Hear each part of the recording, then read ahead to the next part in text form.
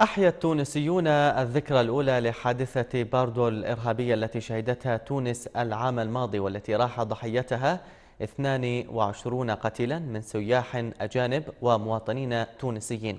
إذ نظمت وزارة الثقافة التونسية فعالية بمتحف باردو عبر تركيب لوحة فسيفسائية ضخمة بطول 40 مترا ارتسمت فيها صور الضحايا وارتسمت أسماءهم موشحة بنقشة رومانية أصيلة لعمل عمل على عمل عفوا على إنجازها أكثر من 100 شخص لمدة تزيد على الخمسة أشهر بمدينة الجم.